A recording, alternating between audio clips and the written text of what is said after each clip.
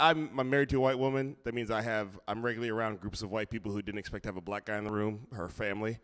Uh, hmm. Hmm. Sweet potato pie, you say? Crazy.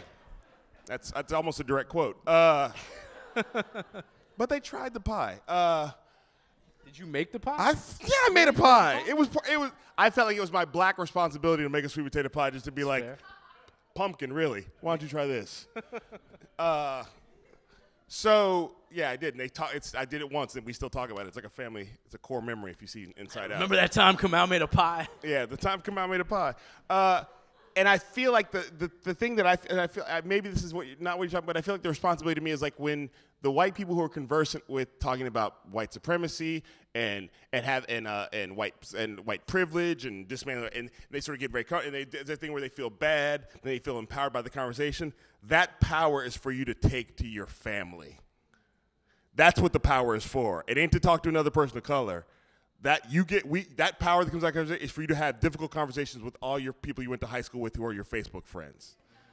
And that's where I feel like the problem the conversation doesn't go a lot of time. It sort of goes, We had a good conversation and then it's sort of I feel good. Right. You wanna have a kale smoothie? Yeah, my Uh, black friend seemed to think that everything I had to say was very intelligent and yeah. perceptive. I made a lot of good points. And actually, going and having those conversations with your family, your racist, backward ass family, will actually do some of that work of decentralizing you and making you not feel like it's all about you because it's difficult. It's not affirming. It feels shitty, you know?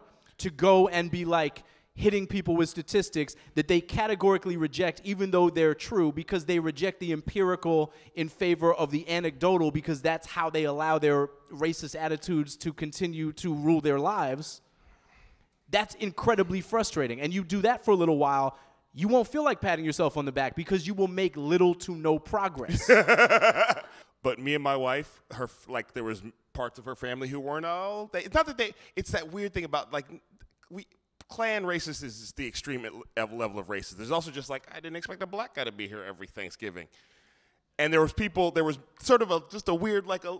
"Eh." And my wife took it upon herself to have those conversations that I couldn't have with them because I was the angry black guy.